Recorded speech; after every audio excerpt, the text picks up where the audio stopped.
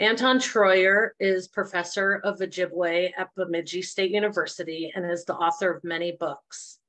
He has a BA from Princeton University and an MA and PhD from University of Minnesota. Troyer is a member of the governing boards of the Minnesota State Historical Society and uh, Waadookodaading Ojibwa Language Institute and has received many prestigious awards and fellowships. Um, his fellowships include from the American Philosophical Society, the National Endowment for the Humanities, National Science Foundation, the MacArthur Foundation, the Bush Foundation, the First Nations Development Institute, and the John Simon Guggenheim Foundation. In 2018, he was named Guardian of Culture and Lifeways and recipient of the Pathfinder Award by the Association of Tribal Archives, Libraries and Museums, Tribal Archives, Libraries and Museums. His equity, education, and cultural work has put him on a path of service around the nation and the world. And we're so delighted to have him be part of We Are Water Minnesota that's happening here at the Stillwater Public Library through December 3rd. And I'll close out our um, evening tonight with more information about the exhibit and how you can attend. But for now, I'd like to introduce uh, Dr. Treuer. You can take it away. All right. Thank you so much for having me. It's really nice to see some familiar faces and some new people too. Kwe maji tayan ni ojibwem ajanes mietago de windamunagug Wagosh, Indigu, Minawa, Migazi, and Dodem, Kazagasquaji and Jibba. I wanted to start by giving you a brief shout out in my Ojibwe language to add that my native name is Wagush, that means fox. I come from the Eagle clan. So in the Ojibwe culture, there's a clan system where there are animals, birds, or fish that double as a symbol for your family and a spiritual guide of sorts. And I come from Leech Lake in northern Minnesota. I spend lots of time on both sides of the border. So Waadookodaading Ojibwe Language Institute, which was mentioned in the introduction, is in the Hayward Lakes region. Uh, and I do a lot of work throughout. I've been to every single Ojibwe reservation and all the Dakota ones in Minnesota, Wisconsin, and you know, really throughout the whole region. And the topic that we're talking about tonight, logging, uh, the native experience with this particular point in history is one that has a really indelible impact on the native communities, uh, of course, on the environment that we all share now.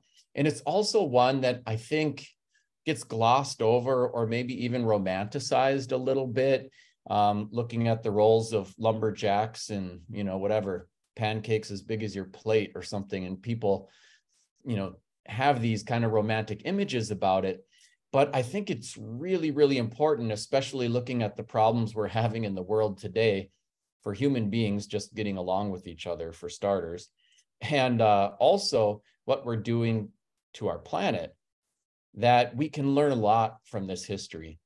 There's way more to unpack than we'll have time for, even in our session tonight. So I thought what I would do is give you a few minutes on me for the benefit of those who didn't have a chance to do that the last time we met. But I'll also just lay out a couple of really critical historical times and events that intersect with tonight's topic, and then we'll take as many questions as we can in the time that we have. So I'll share a PowerPoint. I'll make sure that uh, the organizers get a copy of this, and then we're recording the session and we'll figure out the best way to post and share that with everyone as well. In one of my recent books, The Cultural Toolbox Traditional Ojibwe Living in the Modern World, I wrestle a little bit with some of the Ojibwe cultural concepts, including the relationship that Native people have with the land and the ways in which, you know, all human beings have, you know, an impact, an imprint on Mother Earth. That is unavoidable. But at the same time that we we do that, uh, indigenous people have lived in this region since the glaciers retreated you know, 11,000 years ago, sustainably harvesting the resources uh, without wiping out populations. And as we saw, you know, just in the early first settlement phase, we had logging, the birth of agriculture. Places like Minnesota and Wisconsin honestly had some of the largest swaths of, of virgin pine forest in the entire country. Also had some of the deepest mineral deposits, iron ore um, and other minerals, and some of the, you know, the greatest um, section of grade A agricultural land in the planet. So there was tremendous pressure on our resources. A lot of people don't realize just how different our climate was even a few years ago. So there was a what they sometimes call a mini ice age from 1550 to um, you know 1850, a time at which snowshoes were not a recreational luxury, but a necessity for getting from one place to another. The snow was so deep that the white-tailed deer migrated out of northern Michigan and much of northern Wisconsin and northern Minnesota because there was no way for them to get enough food. And instead, we had very abundant moose and woodland caribou throughout the region. Minnesota had an open season on woodland caribou through the early 1900s until they had hunted every last one to extinction. Uh, there's just one remaining herd of woodland caribou. It's actually in Ontario.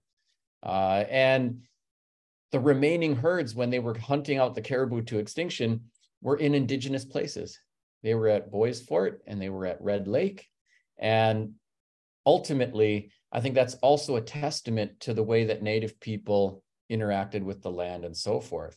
That doesn't mean that that Ojibwe people had a neutral way of interacting with the land.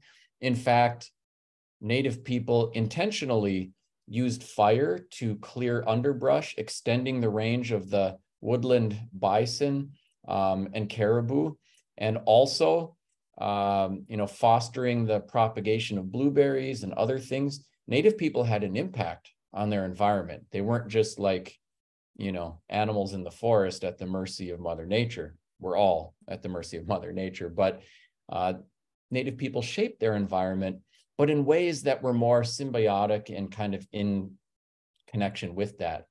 I think one of the things that some Native people are, you know, trying to get perspective on now is that we've been through so much colonization, so much assault on our languages, cultures, ways of being, um, that ultimately a lot of indigenous people sometimes feel disconnected from the most central things to being us. Indigenous, among other things, means of the land. And we're at a time when 50% of our enrolled tribal citizens live off of reservations. 70% of self identified Native people live off reservations.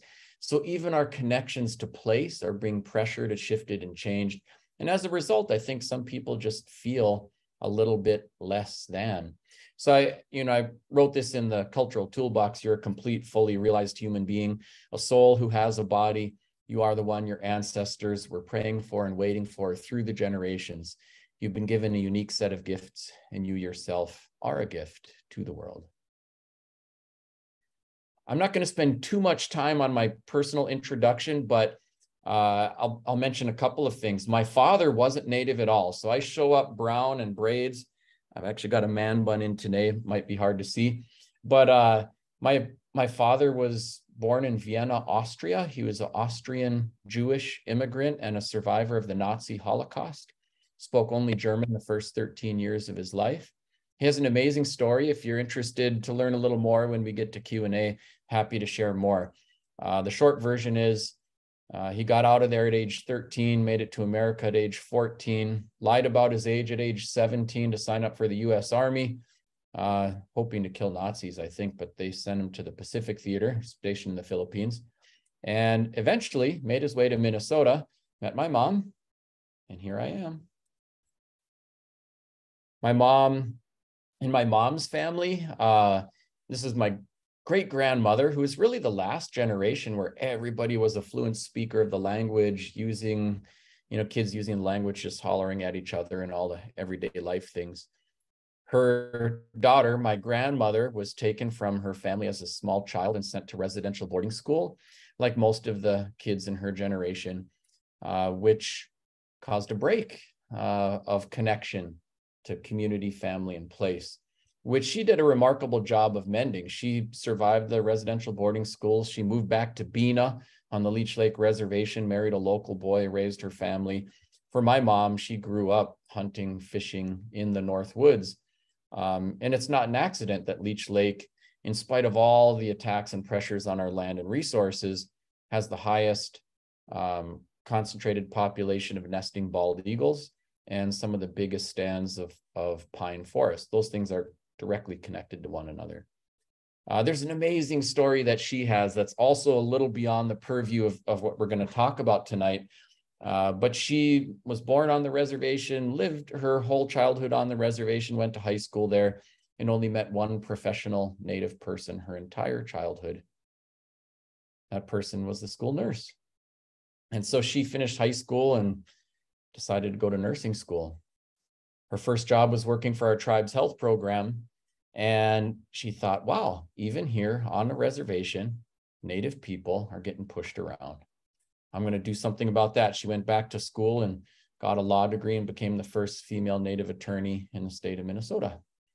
So it was quite powerful for me growing up with her, hauling me to court. And I just remember, I can't remember her court cases, but I remember walking out of there thinking she was the only woman in court. She was the only native in court. And I kept thinking, you know what? We can do stuff. Made such a difference. When I was a kid, my parents were, you know, getting their lives started. My mom trying to find a pathway out of poverty, and my dad trying to rebuild his life. For a time, we had no running water or electricity, wash up in the creek in the summer and enamel wash basins in the winter. I never felt poor, never had food insecurity. But we, as a result of this, we spent a lot of time in the woods, hunting, fishing, picking berries, making maple syrup and sugar. I probably stressed my parents out at many different junctures during my life, including when I graduated from high school and said I'm I'm going to leave town and never come back. And also when I finished college and said I'm coming home and I'm never going to leave. I'm go- and I also said I'm not taking a job and I'm not going to be uh, going to grad school. I'm going to hang out with my elders and learn about our culture. And they said, "Oh, that's beautiful. Good luck paying for that because we're done." And I ended up living with this guy who is uh, from the St. Croix Reservation, uh, right on the Minnesota-Wisconsin border. He lived in Balsam Lake, Wisconsin, and he was born in 1901 and he was about 12 years old the first time he ever saw a white man. He was about in his mid 30s the first time he saw a black man or a car, living his whole life in the St. Croix River Valley. And when I met him, he was in his 90s and he was watching WWF SmackDown on a TV in a modern house and laughing really loud. And so I, uh, it, it always was a marvel to me how much change he must have seen during his lifetime. I ended up living on his couch and being his gopher. Go for this, go for that, drive me here, drive me there. And I learned a lot about our language and culture through that process. If you're curious about that experience or more about his life, I'm happy to share that too. That is actually a picture of him with the Dalai Lama at the conference in world religions. There's some pretty good stories there. We brought him to the conference and the Dalai Lama really wanted to meet Archie Mosay because Archie was the oldest spiritual leader in attendance at the conference. And uh, there's a big line of monks coming up, and they were they were bowing, and Archie had never seen anyone bow before, and he had no idea what to do. So he started patting everyone on the head, saying, "Ah, it's okay, uh, that's all right." Unknown to him in the Buddhist tradition, it is the head is a sacred vessel. It's taboo to touch the head. And so the Dalai Lama stops the line and says, uh, Okay, how do you greet in your culture? He says, I don't know, shake hands. So the Dalai Lama says, Okay, let's shake hands. And Archie says, No, like this. So they got the arm wrestler handshake, which I thought was especially cute. Here's my crew. We have nine children, big, beautiful, blended family. If any of you like kids, you let me know because we're always hunting for sitters. And in our family, there's been a process under that we've been going through for generations of reconnecting with our language, culture, community, and environment. And it's very connected to the real focal point for our talk tonight about logging in the North Woods. These are some images of my daughter. And as my daughter has grown up, she grew up as a fluent speaker of the Ojibwe language. And we've been able to restore the intergenerational transmission of Ojibwe. Uh, and even today, now she teaches our language. She works at a high school and she's working also on a doula practice for rehabilitating indigenous birthing practices and things like that. And it's very heartening to see what's coming out of my children.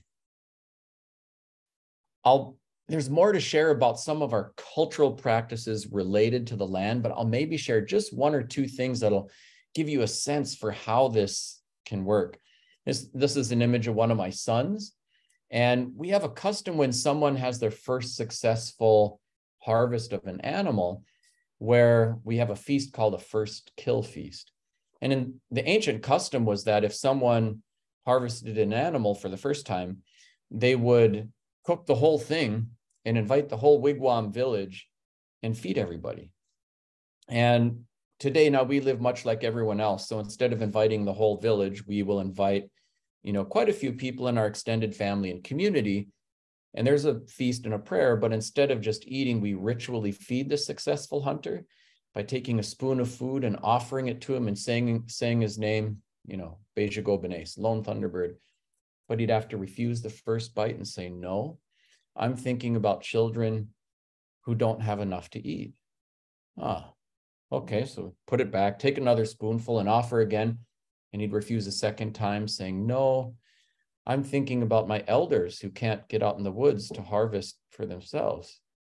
Hmm, okay, put it back, take another spoonful and offer a third time. And he refuses again, no, I'm thinking of my family and community, people who came here today to support me. Ah, okay. And then offer a fourth time, and then they can eat.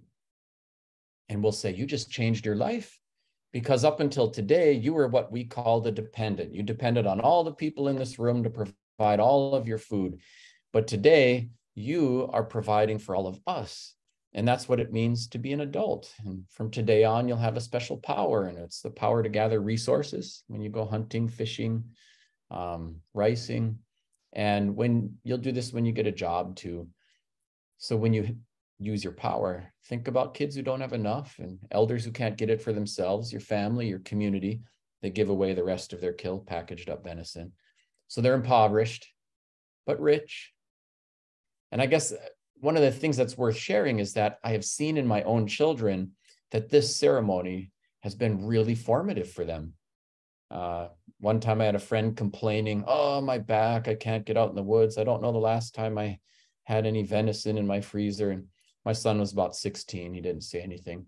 But he went out in the woods, he harvested a deer, he cleaned it up, packaged it up, went to my friend's house, filled up his freezer.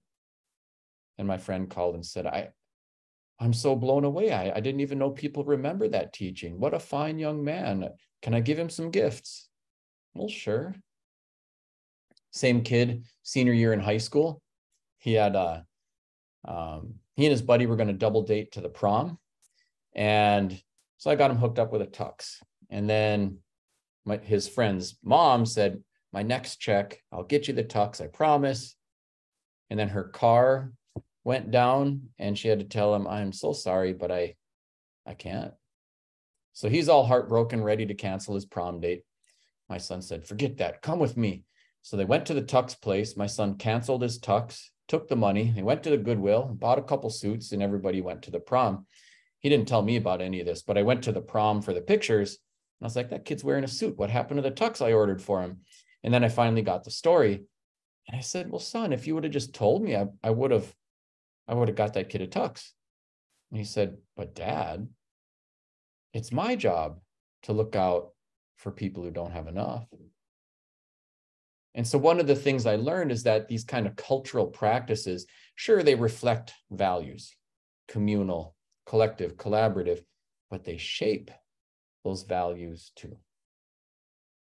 And so there's a lot in that cultural toolbox that affects this whole logging story that I want to talk about. I've seen some really cool things happen. I shared a little bit about our families, kind of efforts to reconnect language and regrow language, culture, custom, and so forth. There's been a collective story ongoing as well. These are some of the elders in Mille Lacs that have been building Rosetta Stone for Ojibwe, books for Ojibwe, um, some really remarkable accomplishments. And I'll kind of go quickly through it so I can get to the history stuff for you. But um, there's much more to say about what is happening there too. And all of these things language, culture, land, environment, the health of the water all of these things are deeply interconnected. Here's one of my elders, ancestors in my family tree, famously photographed as well. He got the name John Smith later in life, which is ironic. No connection to the one from Pocahontas mythology. He was born in the late 1700s and he died in 1922. He lived in parts of three centuries. He was in our area before there were any white settlers, and he was still in our area when the soldiers came back from World War I. He was in our area when all of Minnesota was indigenous land, and he was in our area when Native people owned only 4% of their own reservation at Leech Lake. In reservations like Leech Lake, natives own 4% of their own reservation. At White Earth, natives own 9% of their own reservation. In some places, natives are minorities on their own reservations. And the logging has everything to do with it. You've probably seen famous pictures like this, Oklahoma land rushes and stuff like that. What a lot of people don't realize is that most of the Oklahoma land rushes took place not just on native lands, but took place inside Indian reservations. No sooner did we go through the treaty process, and I'll say a little more about treaties and how they worked um, today too, but no sooner do they do that, than they realize that there are all these vast resources inside reservations. They include the timber resources, in places like Minnesota, the iron and mineral ore, you know, in places like Minnesota and Wisconsin and Michigan, they include agricultural land and they include oil. There's a book, there's a movie coming out on Friday this week about the Osage murders and the creation of the FBI, which profiles how some of that happened in Oklahoma. Uh, but at the time, you know, reservations, you're probably familiar that there are these chunks of land that they were trying to remove native people to and concentrate them on. But at the time that they started with allotment, and you, you may not be familiar with allotment, but allotment is taking the land that was collectively owned inside of a reservation. And instead of having it be owned by everyone or owned by the tribe for the benefit of everyone, they chopped up the reservation into individual parcels. And, you know, then they were able to do this. They kept 50 million, 50 million acres to allot to the natives. And they took 105 million acres, twice as much land, and opened it up for free to white settlers. So allotment was not just about the benefits of private land ownership. That's how they framed it. But the reality is, it was about getting these lands out of native hands. And this is how you get to some of the land ownership stuff that I was talking about. Each reservation has its own story about how people came after the land. So treaties are part of it, acts of Congress are part of it, the creation of national parks and forests is part of it. And I'll give you an example of each just so you can get a sense for how they work, examples from our area. So this is just a little treaty map. And it's very interesting, but if you look at the treaties that Ojibwe people signed, um, you know, across the 1830s, 40s, and 50s uh, in the region that most of you are calling home, the Ojibwe insisted that they not sell any lands. And first of all, just imagine what a difficult time this was for Native leaders, right? If you said, We're not selling anything, we will fight you if you come here. And some tribes fought famously, like the Lakota. Usually it didn't go too well. There was some kind of conflict, and then people were had their land taken away, anyways, by force. If you were kind and accommodating and said, We refuse to fight you. We are your best friends. We will never have a conflict with you, but we really insist that we don't want to sell our land. You didn't get to do that either. They'd move you off on a trail of tears, which is exactly what happened with the Cherokee and many other tribes. They never fought a war with the United States, but they were deprived of their lands anyways. It's one of the things that's just hard, you know, to grapple with about American history. All the stories of people fleeing religious persecution, you know, or economic malaise and coming to America and starting a new beautiful life are also the stories of taking those things from Native people. There's no way around it. The first boatload of pilgrims did not arrive in a vacant wilderness. They arrived at a Native American village site. And the Native people were terrified at the sight of these newcomers and at first ran into the woods. So the pilgrims got off their boat, went into the village, and the first thing they did was take all their food. The first act was an act of theft. And then they built a pilgrim village right where the native village was and displaced the native population and kept it going until they got to this region. Same story. Ojibwe people understood. Sometimes I think it's a little too simple if, if people say like, oh, natives didn't understand treaties or didn't understand legal concepts. Native people understood a lot of things. They just had a very different concept. So native people understood that there was land that they would exclude other people from. So the Ojibwe even famously fought some of their native neighbors for control of land and territory. The Ojibwe also understood that there was some land that you could share with your neighbors. The Ojibwe had friendly relationships with the Ottawa and the Potawatomi, at times the Cree, uh, and as a result, there would be shared use areas. Both groups would hunt, fish, gather. There's a lot of intermarriage and so forth as well. And that actually happened with the Dakota too, although it's a complex story. And so when it was treaty time, the Ojibwe had a kind of unique situation compared to many other tribes. Imagine what's going on in the United States at the time of the US Civil War. So at that point in time, it's only been, you know, just a few decades since you had the War of 1812. You know, it's been half of a person's lifetime. In the War of 1812, the British Army came and burned Washington, D.C. America's sovereignty wasn't secure. During the US Civil War, which is when a lot of these treaties are happening right before, during, and then right after the Civil War. And during that time, you know, not only are the North and South fighting each other, but the British are financially supporting the Confederacy. Canada is part of England. The Ojibwe population straddles the US Canadian border. We didn't cross a border, the border crossed us. And as a result, the US Army couldn't afford to like chase natives into Canada and start a war with the British. At the same time that the you know, revolution that the Civil War was not going that well for the Union for the first couple years. And so the Ojibwe had a little different diplomatic position.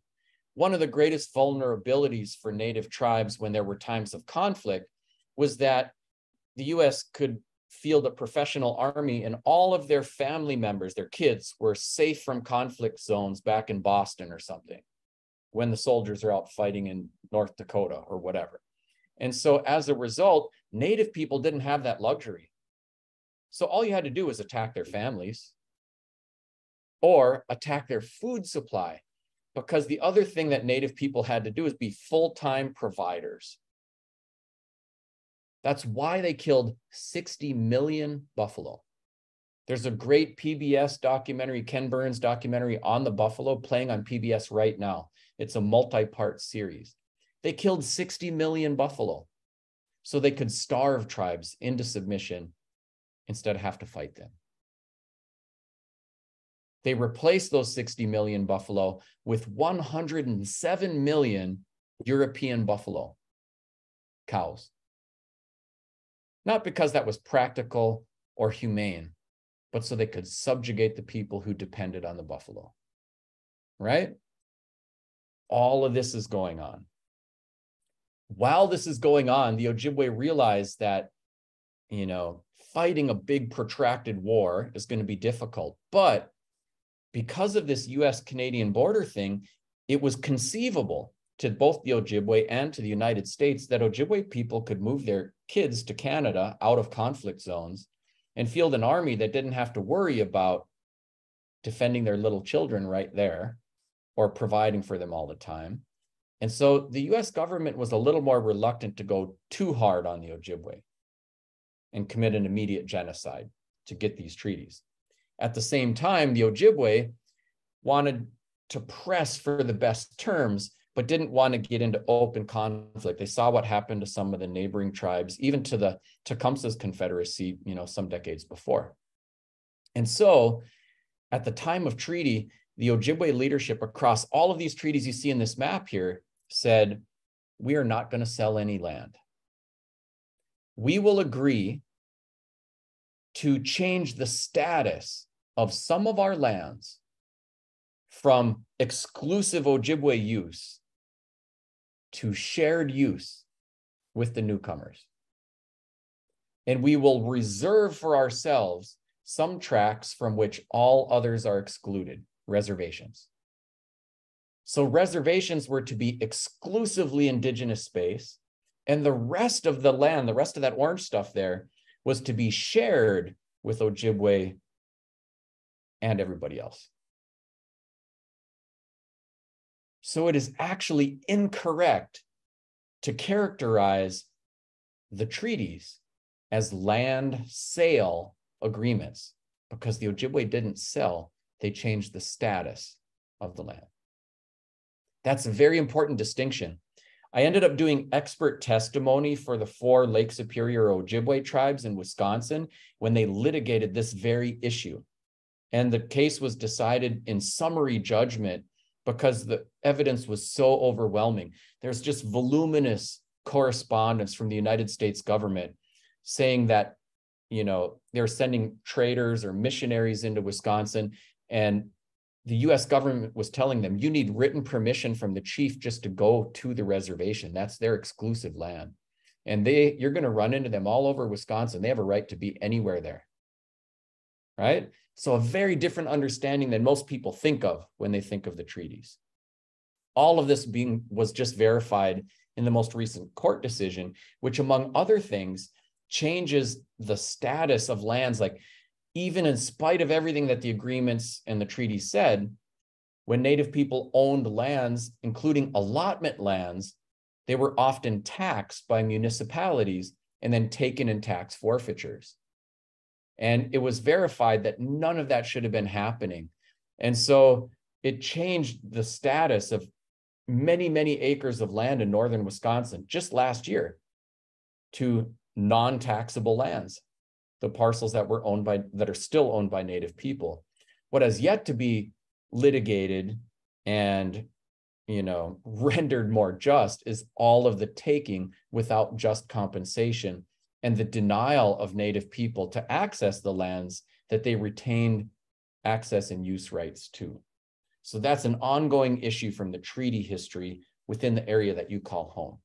So that's one dimension of, of the story. Of course, this was all about getting at the logs, getting at the minerals and the other resources. There's a great document that um, there's a petition from the chiefs of Wisconsin to um, the president of the United States, and it's called, now we call it a statement made by the Indians, and it's all in Ojibwe. And they actually said, we only understood that we would be sharing use of the land, including the cutting of some trees, but never that we would be excluded from using the land or living on any part of it. I'm going to look briefly at, at what was going on in Minnesota uh, at the same point in time and kind of coming into the 50s and 1850s, 1860s, and really right up to the 1900s. They're starting with allotment there too, and they were trying to do all kinds of things. They were trying to relocate all of the Ojibwe people to White Earth in northwestern Minnesota. They actually tried to relocate everyone to Sandy Lake back in 1850, but the US government, Sandy Lake is in central Minnesota, if you know the McGregor area, Big Sandy Lake. Uh, and when they were doing that, there were thousands of Ojibwe people came from Michigan, Wisconsin, Minnesota there. And it was in pretty much this time of the year, but they kept people there well into the winter. And they fed bad rations, moldy flour, and bad meat. About 400 people died on the spot, and lots of other people got dysentery and they just ran for it and ran back to the communities they came from. And I think honestly, if the US government had even just like had decent provisions, you might have had some different historical outcomes from the 1850 removal order and the Sandy Lake annuity fiasco, but it, it completely backfired for the government.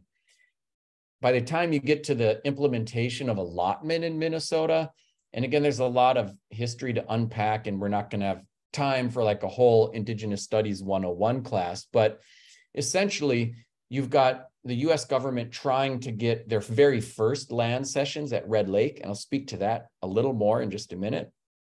And at the same time, they're also trying to relocate people to White Earth and implement allotment everywhere. Some of those things are all contradictory. Why would you want to do allotment if you're trying to move everybody to White Earth and you know things like that? But essentially, they needed to get consent from tribal members to make it happen. And so these are just legislative things that i am briefly mentioning. I won't go into too much minutia here, but you can see different ways in which they start thinking about getting at the timber.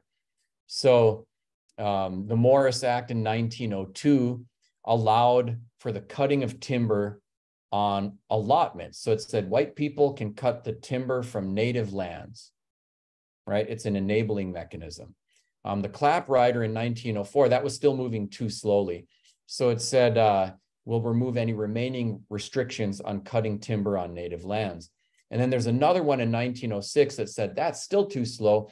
Just let natives sell the whole land. And so you actually had only eight human beings in the state of Minnesota as the primary profiteers over all the cutting of timber. So if you go to St. Paul and look at the, you know, Hill House, which is very close, you know, right in, in central St. Paul, he's big timber tycoon. That was most of the money. The town of Walker, Minnesota, named after another timber tycoon. There were eight human beings who got most of the money from all of that effort. And most Native people lost their allotments within their lifetimes. It was very rare that somebody got to hand their allotment off, you know, over one generation, much less all the way up to the present time. I think White Earth only has two allotments that stayed in native hands out of all those families. And so there are many different ways that they were trying to get at, at native lands. So allotment was one. By the way, there's a friend of mine uh, named Joe Oganosh uh, from White Earth who passed away now. Uh, but he, one time I was recording Ojibwe stories and he said, You got to see this and he got a shoebox down, pulled out an old grocery receipt from the Roy Lake store. And he said, Look at that. What do you think that is? And I was looking at it. It says, Looks like a handwritten grocery receipt for $24. He said, That's my family's allotment. The grocer at Roy Lake went to the allotment officer and said, This family owes me money for groceries. They're never going to pay me. I demand that you give me their 160 acre land allotment to settle the grocery bill. And so the grocer got the 160 acres and the family got a bill marked paid for $24 worth of groceries. So he kept the grocery receipt. And there are many, many stories like that. It is incredible what was going on in Wisconsin and Minnesota during this time period. You have the birth of the industrial age right? So they're they're harvesting iron ore and they are turning it into steel and iron, and they are making railroads and railroad tracks and this huge, you know, large scale industrialization. And so they are relying on resources in our area to do it. America also has an explosion of its industrial production of ships um, and housing and so forth. It's exponential. And Minnesota and Wisconsin are supplying most of the raw materials. At the same time, you also have this huge explosion in agricultural production. So during the Civil War, America was a producer of you know cotton and other um, agricultural products and just starting to export that. We became the largest producer of food in the world then, and we we didn't stop. So all of these things are booming all at the same time, and it's right in our region where all the pressure is on. So you know, there's more than one way to skin a cat, and they found the ways. So sometimes it surprises people because we think like the creation of a national forest, for example, is a positive ecological thing. But actually, the way America maintains its forests is it is a federally federal government run business operation. The national forests are cut and they are cut by clear cutting.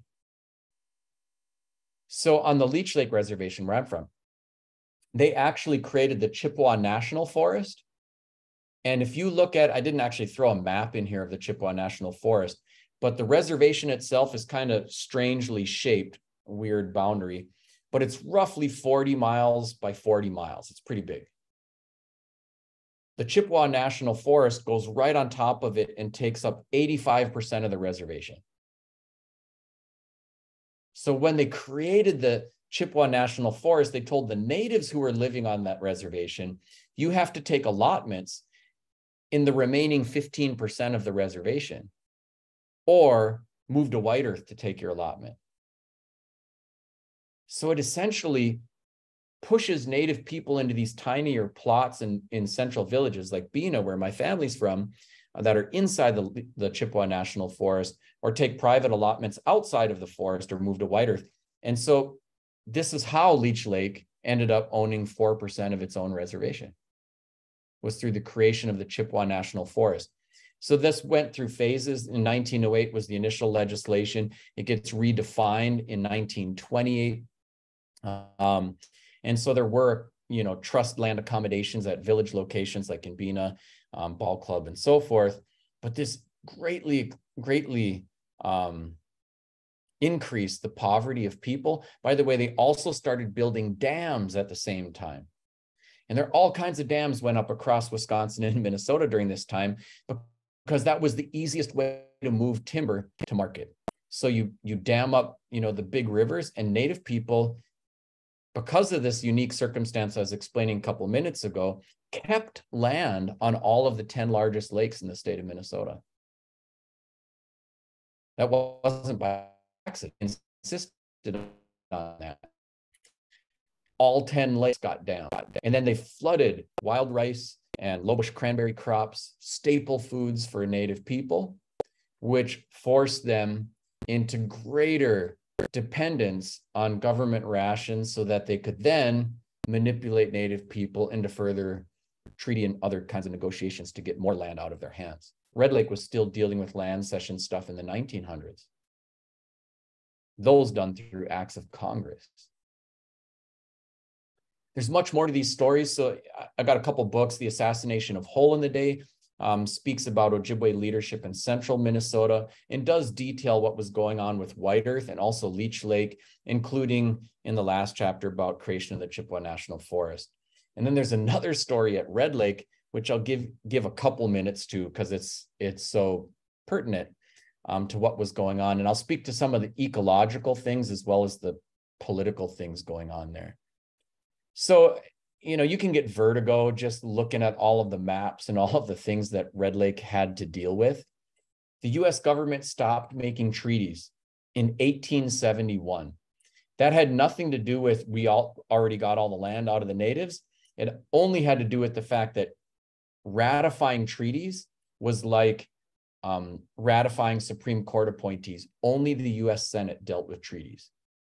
And all these folks in the House of Representatives wanted to get their hands in the native business. And so they stopped making treaties, which would force all things native land related to go through acts of Congress, which involved both houses of Congress. That's all it was about. It was a Potomac two step. So when at that point in time, everything on the left side here, this was all Red Lake land, unceded, over 3 million acres. So to get at that, they had to use acts of Congress, um, which in Minnesota meant the Nelson Act. There's this guy, um, he who is spoken to, and there's, you know, there's a whole chapter on him in the Warrior Nation book. I won't be able to spend too much time, but the bottom line is simply this he who was spoken to and the other Red Lake leaders said, We will never do allotment. We will never move to White Earth.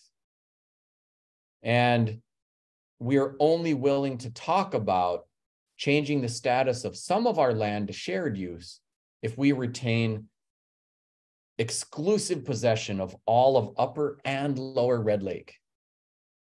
So upper and lower Red Lake, you know, those two lakes are huge, uh, just looking at the maps here right? It is 87 miles of undeveloped lakeshore and some of the most pristine wilderness in the entire state of Minnesota, as well as the cleanest aquifer in the state of Minnesota.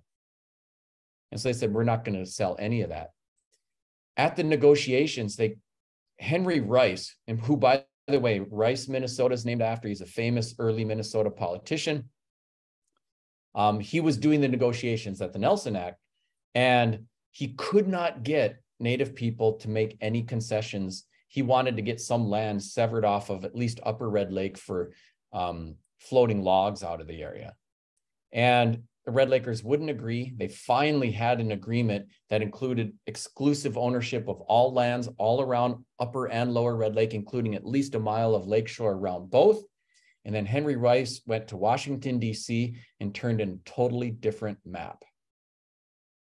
One that would cut off this big section, whoops, from the Red Lake Reservation on the right-hand side. So the Red Lake was supposed to have all of this land around Upper Red Lake, and it was cut off. They didn't even know because they agreed that they would keep all of the land. Henry Rice turned in a different map that was never shown to them. And then they didn't know because it took decades for them to actually get up there and do the surveys. By then, it was very difficult for them to revisit the treaties. They were under so much pressure. So all of that has yet to be litigated or resolved. And now at, a, at Waskish, you've got white families who've been living there for three generations.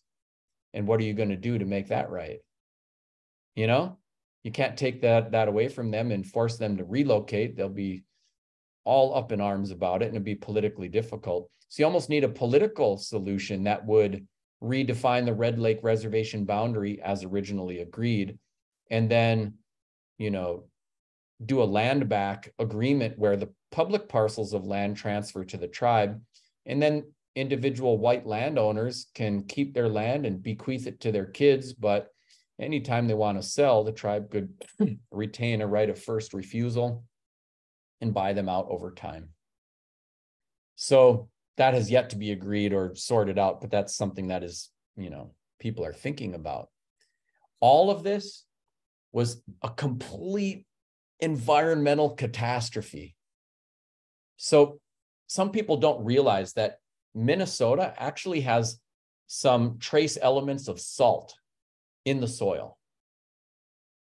So if you go out to like, you know, what they some used to call Devil's Lake, Spirit Lake, North Dakota, by Fort Totten, and you catch a walleye there, it has actually a much higher salinity to the water than in a place like Red Lake. You could take a walleye from Red Lake, drop it into Fort Totten, it would die because of the salt level. But there's still salt across our entire region. One of the things that happens, like when native people would do fires to like burn underbrush and propagate blueberries, it would leave all of the tall timber. But when the logging enterprises came in and they clear cut everything, then when there was a fire, it burned deep into the duff. You get more soil erosion, both from water and from wind. And then the water from rain and snowmelt percolates much deeper into the soil and it pulls up the salt. Essentially, the clear cutting salts the forest. They would have to leave it alone for about 600 years for it to recover. This causes the trophic cascade that implodes the woodland caribou and moose populations, the timber wolves, um, and so forth. And we still haven't recovered. The animal populations still haven't recovered. When you cut pine trees, what grows up next are popple, aspen, and they grow like grass. The popple is actually good forage for ruffed grouse and white-tailed deer, but it's pretty much bad for all the other species that were indigenous to the area. And so in our area, we have lots of white-tailed deer and grouse, and we don't have any more caribou, and our moose herd is declining. And there are other things like the um, having winters less cold and the tick diseases and stuff like that that are impacting moose. In Ponemah, it's interesting in the Ojibwe culture, if you didn't agree with something, then like a treaty or whatever, you just wouldn't go to the arrangement. And if you weren't there, they could not decide without you because we had a consensus based political culture.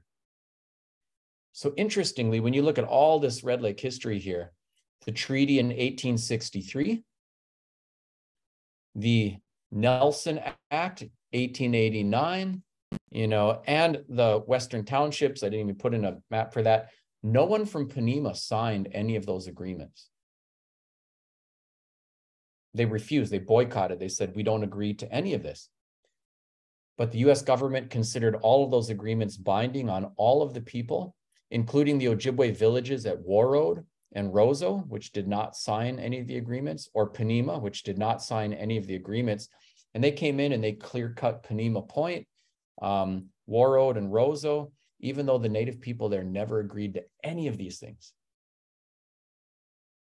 That's the American political process and how it affected things. So you had huge environmental impacts. Now, there's much more to say and unpack about each of these and many other stories. And I want to make sure that um, we got a little time for questions, but I'm going to share something else so we're not all gloom and doom. This is a view of our family property.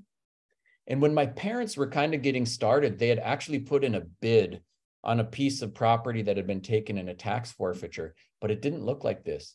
If you turn around and look up the hill, it looked like this. Wide open farm fields. That's my dad on the tractor with my brother there. And what they did is they started planting trees and they planted all of the trees in that picture right there. It completely transformed the entire landscape and the ecosystem. And this is where I live now. So I, you know, for me, it's not just that there's this beautiful, pristine wilderness, which is all covered with conservation easements and things like that. But I think about what a couple of human beings can do when they set their minds to protecting our planet and trying to engineer justice. And it gives me a lot of hope.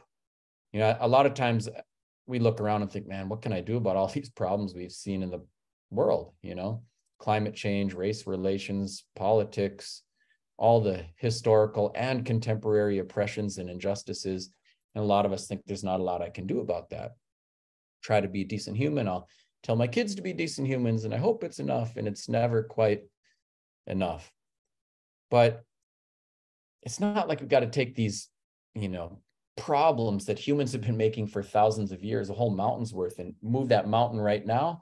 It's more like we need to keep planting the seeds and it can change everything. And that's the work. So we do this stuff. Sometimes we have we've had up to five generations in our family harvesting maple syrup and sugar on the family property. And I really do believe we can make things different and better. So I'm going to conclude my formal remarks at this point in time, but we'll keep this open and take some questions for a while until Heather tells me it's time to knock it off. And uh, I really appreciate you all showing up today and leaning in to an important conversation. And I look forward to uh, to fielding some of your questions. Thank you so much. Thank you so much, Dr. Treuer. I really appreciate it. Um, we do have some questions that people submitted through the registration. So I'm going to start with one that I think is a really good, um, really good to what you just were talking about, engineering justice. I love that. Um, somebody asked, with climate change, many trees are expected to move north, in effect, no longer surviving in Minnesota. Um, as a longtime resident of the state, I feel this loss deeply, especially for such iconic trees as the paper birch.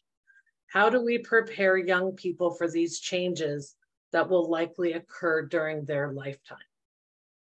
Yeah, I don't pretend to have a simple or easy answer for that. It is true that the boreal forest is not going to be able to survive consistently warmer winters. So that means the paper birch and the balsam, uh, the range for them is going to be pushing northward and the range of the hardwoods will extend northward. We're actually seeing maple trees in the boundary waters, which is something that never happened before. Uh, we're seeing the, the flyways, the Thief River flyway for ducks and geese is going to be sitting right over Thunder Bay, Ontario, you know, within um, 50 years or so, they're anticipating huge changes. So all of this means, and then also like the future vitality of wild rice, which requires, you know, cold weather climate and muddy bottomed lakes that are shallow.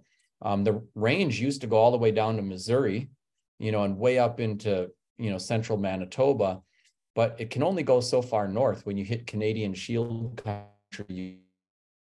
Deeper lakes suited for uh, wild earth. So there's a real question mark about the future vitality of wild rice too. So all of that means that things are going to be really different. Um, there's no way to just stop the tide. I mean, you never know what Mother Earth is going to do, right? Like Yellowstone could blow tomorrow and reset the climate clock. You know, it's possible. But at the same time, you know, we don't there, our our power to really affect the whole environment is fairly limited. I'm sure we will try. Like they're already building machines to like suck carbon out of the atmosphere, but that could have other kinds of consequences that could be quite devastating for our climate, which we don't even fully understand. Uh, so I do think that it is possible that we will have a really different environmental circumstance. And we have you know, humans are actually pretty adaptable. You know, it might not, I think realistically, we will not end up quite like Blade Runner, if you remember those things where they like, there's just like cockroaches and maggots and stuff left on the planet and they, you know, press them into protein blocks for nourishment and stuff like that. I mean, we're capable of hydroponic fish farming on the top of skyscrapers and growing food indoors and all kinds of things. But I think that there will be huge trophic cascades and implosions of major vital ecosystems, and that the quality of life for humans will be negatively impacted um, over the entire planet. So I, I don't think we should be apocalyptic and overly fearful, but I do think that we need to make smart and sensible decisions that will mitigate the damage and risk to us. And, you know, I, like this quote often attributed to Chief Seattle, but I think speaks to a broader view. Man is not given dominion over the earth. We are part of the web of life, not its masters. Whatever we do to one part of the web affects us. In Ojibwe culture, you may have seen like the floral beadwork designs and things like that. It's not just a reminder of verdant growth and the beauty of the natural world, but it's a humble reminder that all those growing things and all the animals, birds, and fish were created and put here before us. We are dependent on them. If we perished from the earth, line probably better than ever. But if any of those things were to perish, surely we would too. So we do have to be very careful and feel the, you know, kind of weighty responsibility, um, you know, to affect the change. Yeah, I saw there was a comment in the chat. Did any non-natives try to help and get justice during those treaty times? Well, you know, not all humans are awful. you know, uh, yes, you know, like uh, you could say the same thing about Nazi Germany. There, there were Oskar Schindlers. you know, who were trying to do the right thing. They were outnumbered and outgunned and overwhelmed, and some pretty horrible things happened during the Nazi Holocaust. Um, and there were people who, you know, had parallel or you know comparable perspectives about all kinds of things. Some of whom did do good and positive things, non-native people. Um, and you know, since then, America's just on the on the verge of trying to and you know do some kind of justice oriented public actions I, you know canada has had a truth and reconciliation commission has you know looked at restorative justice measures. You can't make make up for like hundreds of years of oppression and lost lives right? You're not going to fix the nazi holocaust either because all the people who died don't even get to have babies right? Like everybody else who lived gets to have babies and feel guilty about it you know? There's no way to totally fix that but what we can do is look at restorative justice. So in canada they're appropriating money for indigenous language revitalization um, we have seen the even in minnesota some land back efforts which are largely symbolic but are starting like um, at leech lake there was an 11000 acre parcel um, the govern, you know, the stewardship of which was transferred to the tribe in the Chippewa National Forest. Now, in my view, there's no reason you couldn't trust the tribe to steward the entire Chippewa National Forest as a restorative justice measure. We've seen the first steps of that. And maybe it'll be piecemeal, too slow, but it's better than nothing, you know. Uh, but but that's happening. I'm on the governing board for the State Historical Society we repatriated a small, more symbolic, but significant 20 acre parcel to the lower Sioux community. And within Minnesota legal statutes, we actually had to acquire other land in another part of the state to put into state, you know, conservatorship to offset the one being repatriated to the tribe. But when we did the repatriation, um, you know, commemoration, the tribal chairman was on the call and he was saying, my dad said they would never, ever, ever, ever, ever, ever, ever do this. And we just did this. And he was crying. You know, so I have seen things, you know, then and now that give cause for hope and kind of point to future directions. But, you know, I, I think there just needs to be so much more. It's like when when you hurt someone you love, you don't just say sorry one time and then done and we never talk about it again. Sometimes you apologize every time the hurt feelings come up, and sometimes you do restorative acts repeatedly until things are right. And I, I think America sometimes struggles to even hold space for the telling of the story. We're hung up on American exceptionalism. We don't want to look in the mirror. But I think it's an act of emotional maturity to do so because we can't get to healed and skip the healing and we can't get to reconciled and skip the reconciling. I think a lot of your um, talk today was framed with the treaties and the political decisions that were made. Um, so this question comes from um, a register.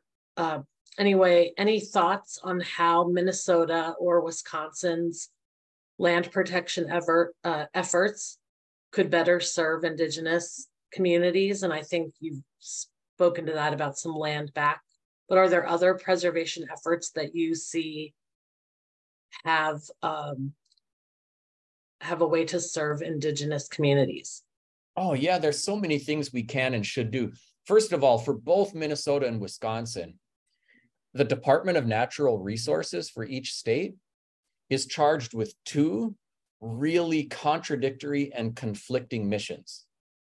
Number one, they're supposed to protect the natural resources of the state. That's usually what most of us think of. But number two, they are also supposed to develop the natural resources of our state.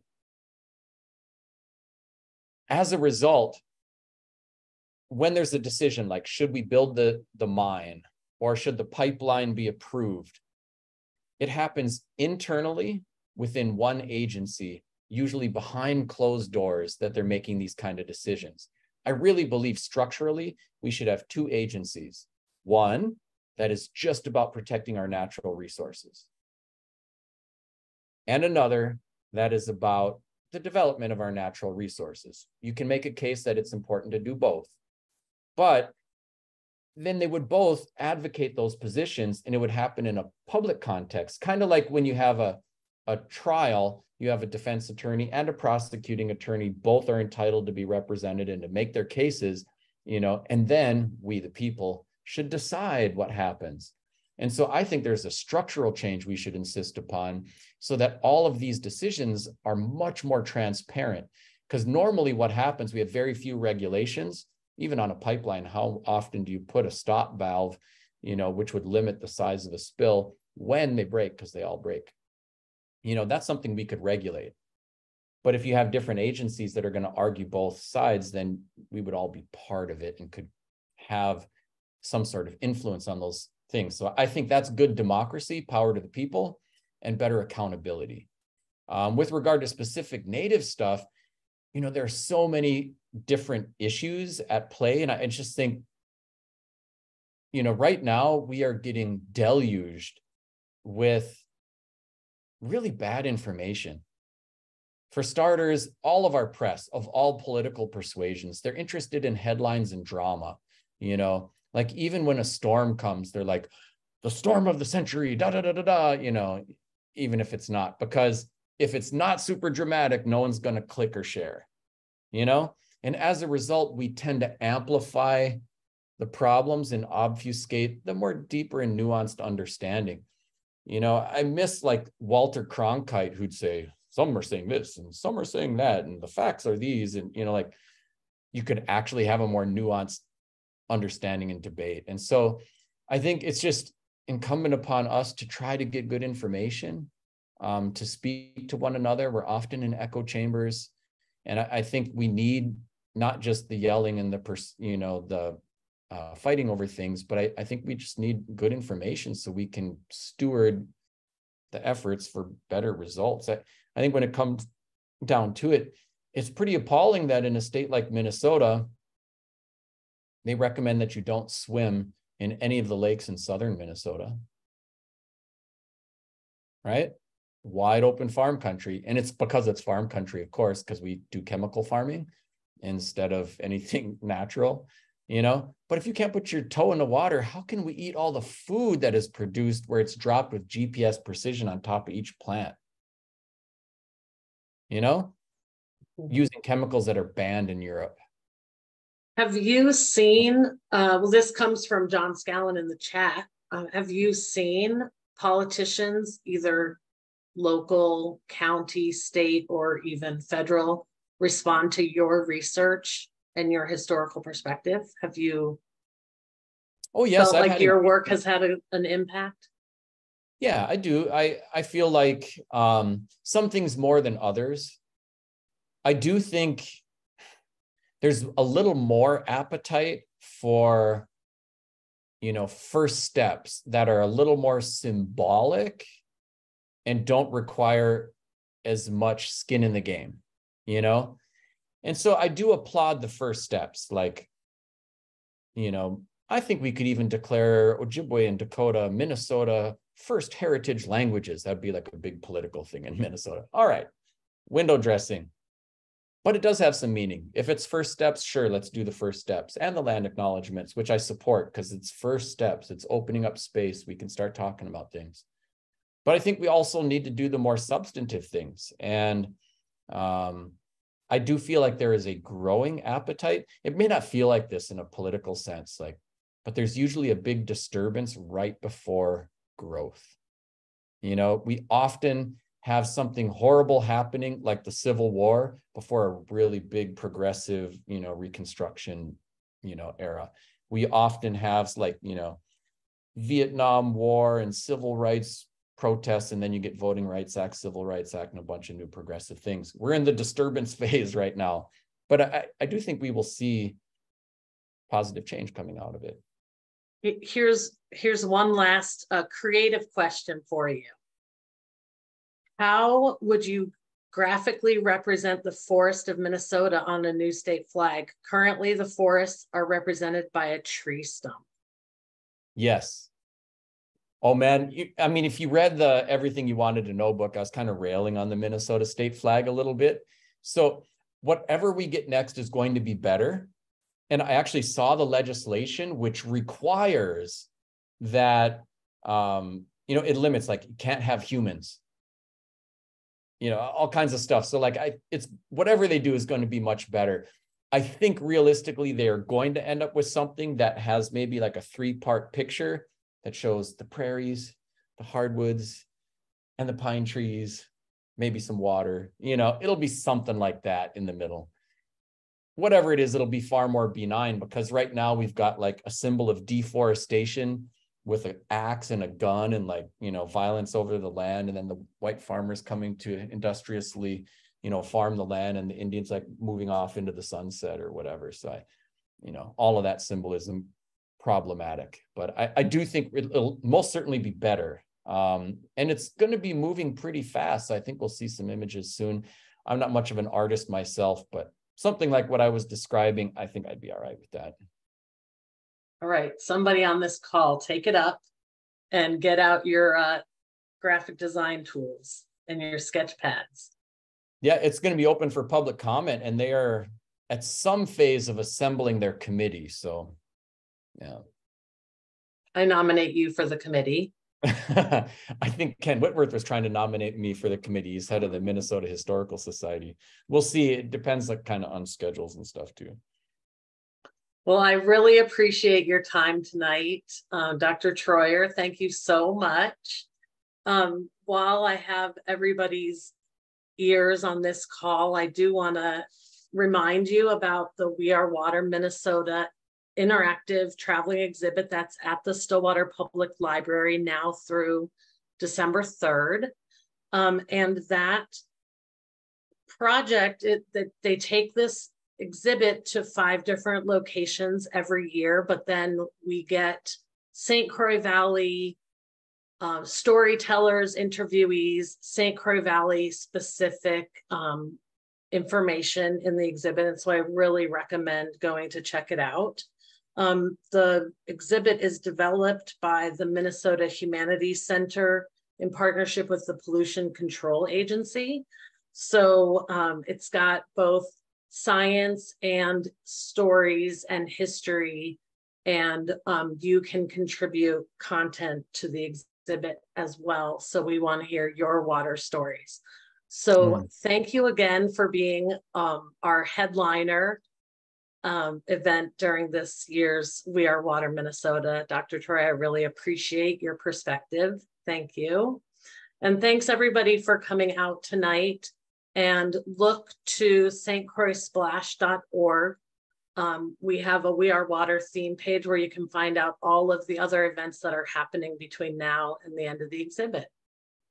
So thanks so much. Good night.